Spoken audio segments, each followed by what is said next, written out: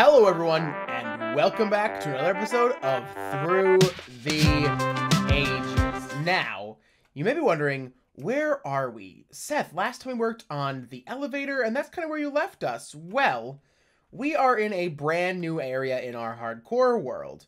This area is tied directly to my Twitch channel.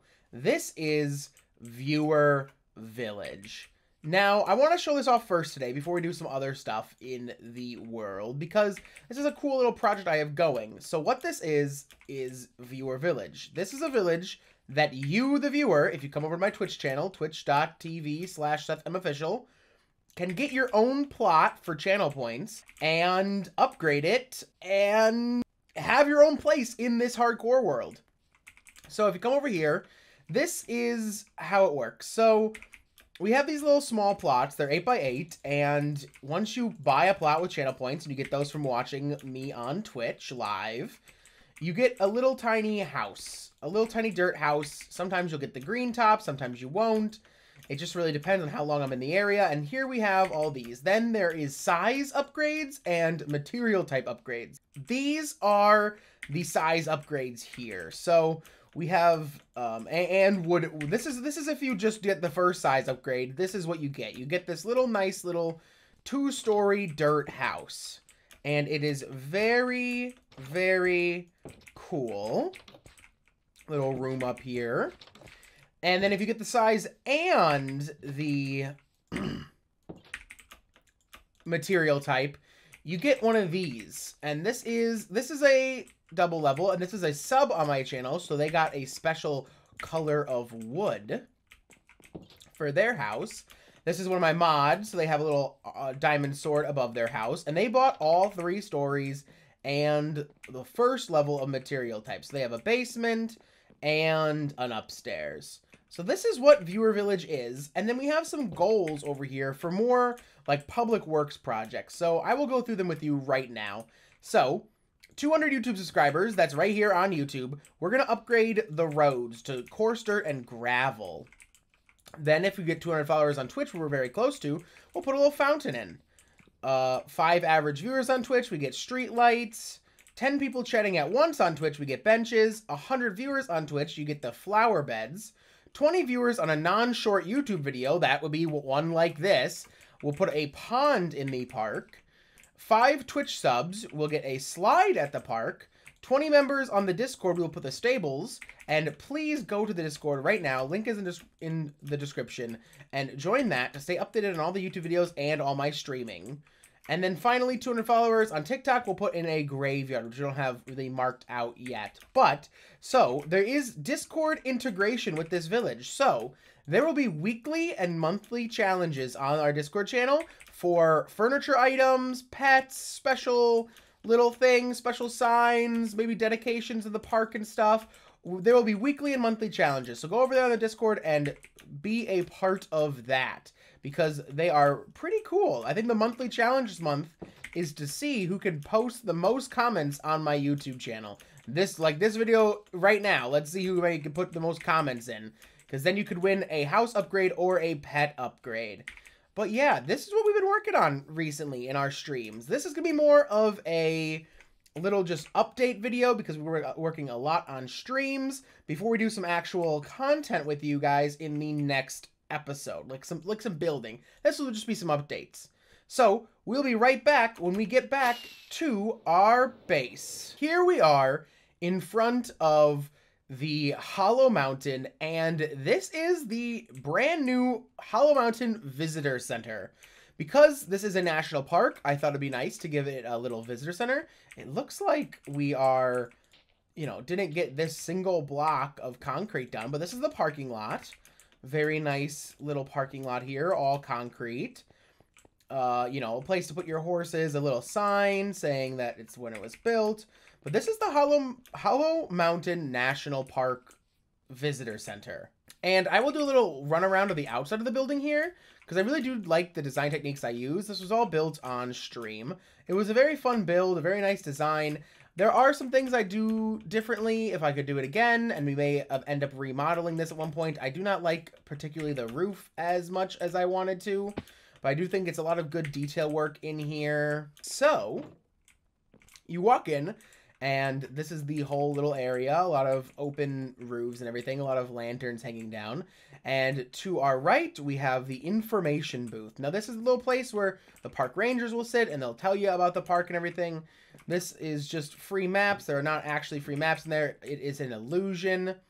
But then to your left, you have the Hollow Mountain, like, little information walkway. So we'll read through some of these. Did you know that the allium flower is the park's national flower? The allium flower only grows above Y level 100 in the park. The park gets its name due to the fact that the mountain is indeed hollow. There is a there is currently an effort being made to fill the underside of the mountain, but this is a slow and tedious process. Even once done, though, the park will keep its name due to the cave system that will be under the park. And Diver's Ledge is a hot spot for teens and thrill seekers. The ledge drops 32 blocks down to a lake, so be extra careful. So far, there have been no deaths in the park. It's a little information booth. All that stuff is true that's being posted in there. And here we have a little diorama of the park. So here's the lodge. And then here is the mountain. You have the little overpass here. You have the little lake. This is the lake and the and the thing to jump off of. Woo! And then we have the actual map of the park itself, which is very nice. And we'll get to what this is very shortly. We'll walk the path up to it. But here is the Hollow Mountain history. And I will read this to you guys right here, right now. So, the Hollow Mountain is a man-made mountain that was created in version 1.16.5. The mountain stands at 129 blocks tall and at, at its peak, and cover covers several which I spelled that wrong, chunks with its width. The Hollow Mountain gets its name for the fact that it is indeed hollow on the inside.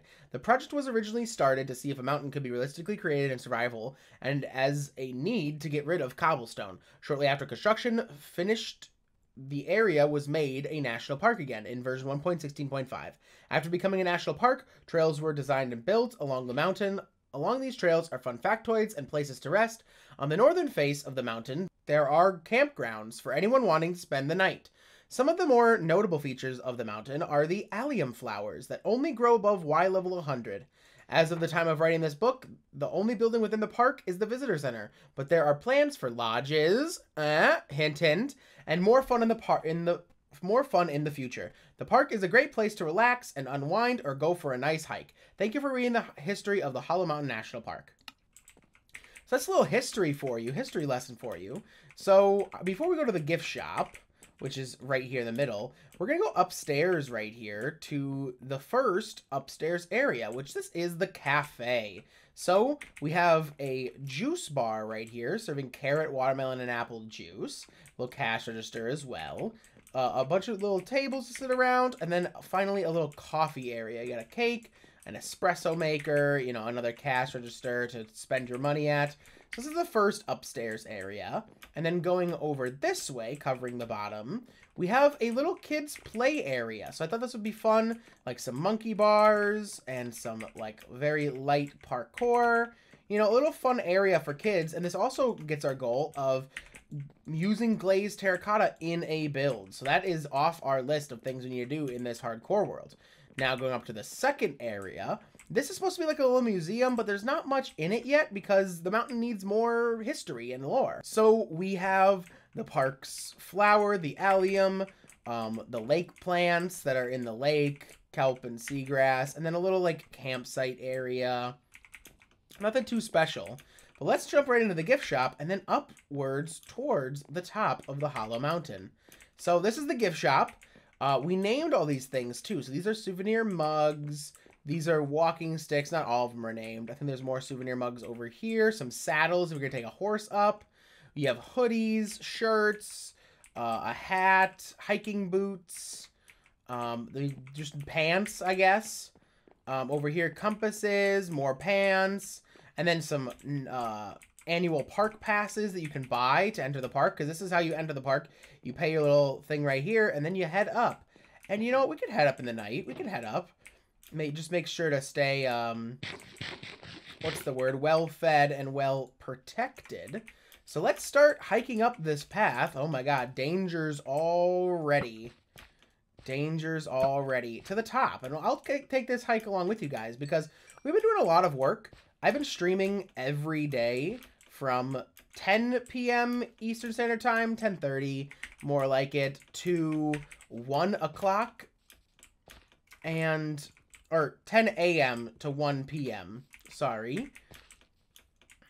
And we have done doing that every day, every single day of the week, as much as we can, unless things come up. But we've been putting a lot of work into this uh, whole world because of that, and a lot of stuff is being shown not on camera, just because we've been having to do so much on camera for everyone. Now, see, we're F3, Y level is 99, and then 100.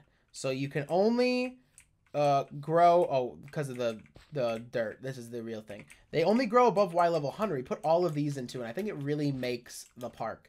It really looks good. I love all the alliums. It was a lot to collect, but I do love all of them.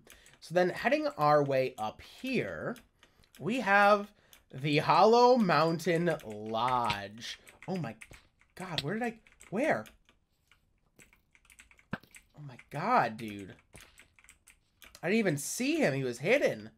So this is the Hollow Mountain Lodge, and it is absolutely beautiful. I love this build with all my heart. We're not going to do an outside tour because there's nothing too much to see. Maybe we'll take a little look on this side if there's no creepers. There it is. Yeah, but we're already getting bombarded with both skeletons and creepers. So let's head in. This is a little deck out here, and this is the lodge. So, this is a moose head right in the front, right mounted on the working fireplace. So this is a real fireplace. That's real fire. Nether rack underneath. Not burning down the whole place. It's very hard to build one of these. It's very tricky, but we got it, and we did it really good. And this is a moose. This is my best attempt at it. We used armor stands and a lot of levers and fishing rods to position them correctly with fence gates. And I think it looks pretty good. Like, I think it looks like a moose. I think if you squint, you know, if you squint, it looks like a moose. So, coming in, you have your little desk here. This is a little sign-in desk with six keys for six rooms. And then a little breakfast nook area over here because you will be staying many nights here with little barrels and everything. And then, of course, the common room with the couch. But let's start going through all of the rooms because this is where all the detail work went into. So let's start over here. This room, I decided to put like a little study in with empty bookshelves and you can't really cover up the tops of the looms when you use them for this like that. But this is it. I try to put a lot of alliums in here as well.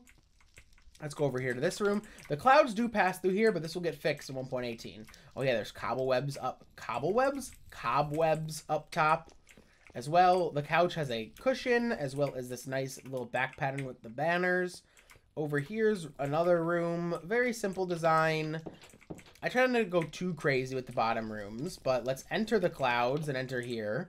So these rooms are a little like a little bit bigger. They have the entryway, which is usually filled with like a hat stand, a little area for, you know, setting your stuff down, and then you get to the bedroom. And I've used some of the beehives. The these are the apiary. So the other room across the way has a similar setup, but its room is a little bit different with a full wardrobe. So this is kind of for, these are all for the single people um, staying by themselves, where the upstairs are the double rooms. So we'll go up here on this side first.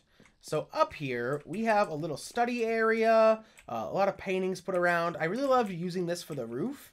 The roof was a very fun thing to do, especially using this like blue palette, and I've wanted to do something like that for so long, and we finally have done it. And this is a working clock. Uh, we'll stay the night at one of these beds, and you'll see that uh, this is a um, detector on a clock that rings the bell every time there is a block update from the daylight sensor. So there is that. Now we get into the double rooms. This is a pretty standard double room. You walk in. It has a actually three door wardrobe, which I think is really cool. And then you get these little balcony areas right out here. You can sit and enjoy some tea and watch the fire and look at the moose. And that is really it for this top half. Let's qu really quickly jump down to this over here on this side. This side has some other cool little things on the top. It has another little table, but it also has a pool table. We use these with carpets and signs. And I think it's really cool that like the signs look like pool sticks, but there's no way to get pool balls yet. And then finally, we have the most interesting room. This is the art room. So this room is a special room. It's just filled with all these beautiful paintings of all different sizes and shapes. And this is like my favorite room to stay at when I'm here Has a little area over here, a little study. You could sit, do your, you know, work on a book, write a book, and look down at the whole area. So we'll spend the night here. And there is the bell telling us it is morning. Like I said, that's a real working clock. And it doesn't, it should ring every hour because of the first initial block updates, but then calm down. But that is it for the Hollow Mountain National Park Lodge. I'll give an overhead view like this, and we'll jump right into what we're going to do next. This is the outside.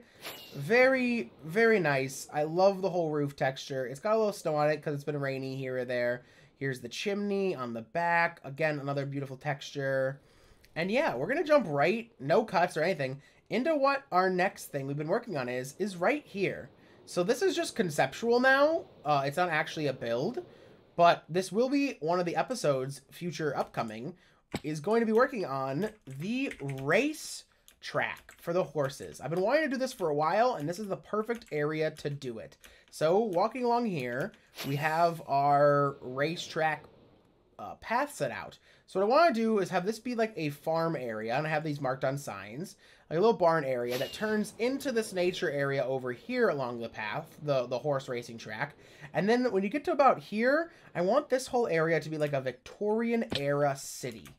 Like very old, very, you know, Victorian era, like you know, colonial even, maybe even like sooner, like like those style houses through this whole area. There's gonna be a shortcut right here through it and this shortcut is going to be probably for a jump height or whatever. So if a horse can jump high enough, it can make this shortcut. And then if you continue along this path, I want this to be a cemetery, little like spooky area. So coming through here, we do we have a mob spawner right here. And I want to use advantage of this skeleton spawner and make like a little like spooky graveyard area right outside the village that you have to like race your horse through. And maybe there'll be skeletons, you know, along the way watching you. Maybe they'll fire a couple arrows too. But then finally, you get over to here, which this will be like a mountain pass. And along this mountain pass, it'll come right through here and back to the start. So that's really what I want to do with uh, the horse race track. And we'll be working on that very soon, um, probably in the next couple of videos. Uh, expect that. So, there's not much to us to update, but I'll cover it really quickly. So, the next thing is the swamp biome. So, we are working on terraforming the whole swamp biome, and right now we're working on removing all the sand from the ground and replacing it with dirt so we can then bone meal it all and make the whole swamp biome into what it should be over there. And we're working every day on stream on this, and this is coming very along very nicely. As you can see, I'll do a little flyover. We're planning on doing this whole area, so that should be done by the next video, hopefully. Our next project has been the train station. So this is the end train station. This is the spawn area. And I built this here in case we ever forget our bed or don't have the placement. We can have a nice mine cart ride back all the way through. It's a nice build. It's used end stone, so that crossed that off the list. But this is the end city railway and I want to put more of these around the world too so we can have like little inter interconnections but it's a very fun build it still needs some work with some detailing I will go a little bit far so you guys can see the uh, support beams because there's support beams along this whole thing. You've definitely see this in the background here or there before a video, but there are the support beams right here. And yeah, and now we will jump into the next project, which is the Quartz Forest. So we've done a little bit of work here um, in the meantime. A lot of our time has been spent over terraforming the swamp biome, but we're also not forgetting about putting trees into the quartz forest. And we're getting close to being done. We've almost got the entire area over there all uh, hoed out for the mycelium to take over. And we're just working on getting all the trees throughout this whole place. Um, the, the great tree's still doing really good as well. And that is really about it for this. We still need to put some end rods on, but it's coming along very nicely. I'm sure one of these days it will be finished before we know it. Okay, and on to the next one. Which is this area. Now, this area, last time we left it, was not all put together, but we've worked a lot on getting all the um, little lamp posts put in and connecting the bridge with this side, as well as flushing in some of the areas over there and getting everything ready for um, putting in the redstone elevator and the 1.18 update because we're waiting on a lot of things with the 1.18 update to really work on this. The redstone elevator is still working perfectly fine, so let's take it down to find the next project. That is the underground mines. We have finally done this whole area up. We do plan on putting copper in here eventually uh, as accent blocks, but it just doesn't exist yet. So if you come down here, we have it all the way to here and all the way down here. We have also redone the entire smelter. So the auto smelter is redone and we got a little view vantage point into it now. We did up the entire insides with um, nice blocks to make it look nice, even though there is some cobblestone left. And we extended the tracks outwards, so there's no more glitching. There's no more rubbing up against each other to cause it to malfunction. And we have now droppers and hoppers that process everything and take it up for us, rather than another minecart that does that for us. So this is the new and improved auto smelter, which again is a, another very fun thing added to this world. And for our final project, this is the Nether Hub. And we've been working relentlessly on this because of the amount of crying obsidian we need, and we have finally finished. We have finally got all the crying obsidian we needed. Look at how beautiful that is. The design is done. We only have to add in the other two, like, hanging icicles on the other side of the ceiling, and we are done with this build. This build will be finito, finished. So there is that, and to get that crying obsidian, we get to trade so much with this guy. This guy has been our main guy and supplied all the crying obsidian for this area in exchange for some gold. And we have used, I don't even know how many stacks of gold we have used on this guy to give us the right materials. Please, Enderman, move. But let's see. Does, are you going to give me it first try? For the audience? You're on camera. No. No, he does not. He is he is very stubborn. I have many many blocks of of useless things due to trading with him so many times. And before we end this video, I want to do a little bit of an update on the to-do board. We have a lot more things um, put on here, which may come this update, may come the next one. We do not know, but I will go through them all for you, and a lot of them will probably be videos. So expect videos in the future of fixing the museum dome, building an observatory, the horse race tracks, the obstacle course that I talked about earlier, fix the redstone piano in, oh my god, I'm so sorry. Fix the redstone piano in the vineyard, map the stars, build an auto sorter, finish the quartz forest, maps the map room, start construction on the zoo, and make a shooting range. And with mentioning the vineyard, I almost forgot this. We'll just run right over here from here. We have added in uh, berry bushes and vines to the whole area to make it really look like a vineyard, to really up the quality of the whole area. And the next update, when we get moss blocks, we'll be putting moss blocks in. But, you know, one of our oldest standing buildings is this vineyard. And I think it may be time for a remodel coming up pretty soon of this build because it is one of our older buildings if you look around the area that hasn't been touched or done anything with in a very long time. So maybe expect that from a future video. So I'd like to thank you all so much for watching this episode of Through the Ages. Um, your support really helps me with this channel and the motivation to keep making content for you.